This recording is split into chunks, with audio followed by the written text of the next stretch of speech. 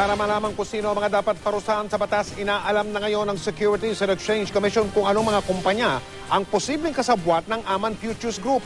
Kabilang din sa inimbestiga ng kumpanyang Visionaire 2020 na isinasangkot din sa tinatawag na investment scam. Nakatutok si Bernadette Reyes. Investigasyon ng Securities and Exchange Commission SEC sa umunong investment scam ng Aman Futures Group na pinaniniwalaan nag-umpisa sa Pagadian City. Sa ngayon, binubusisi na ng SEC kung ano-ano mga kumpanya ang maaaring kasabwat ng Aman Futures. Mula rito raw, maaaring malaman kung sino-sino ang mga dapat sampahan ng kaso at dapat managot sa batas.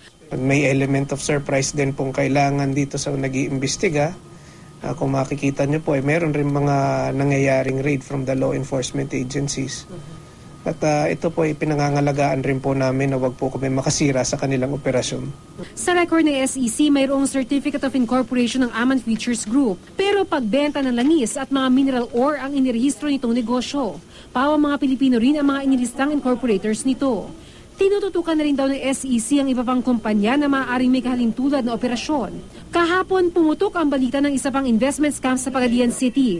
Ang itinuturong nasa likod dito, ang Visionaire 2020. Nakarehistro ang Visionaire 2020 International Trade Incorporated sa SEC, na ayon sa otoridad ay ang buong pangalan ng kumpanya. At base sa Articles of Incorporation nito, kasama sa mga nakarehistrong incorporators si Glenda Andagan. Sa raid na isinagawa ng NBI sa Pagadian City, arestado si Glenda Andagan na itinuturong manager ng Visionaire 2020, gayon din ang ilan niyang kaanak. Ang inirehistrong pangunahing negosyo ng kumpanya, magbenta ng mineral ore at mag-operate ng real estate. Patuloy pa rin ho yung pagsuri at pag-imbestiga dito.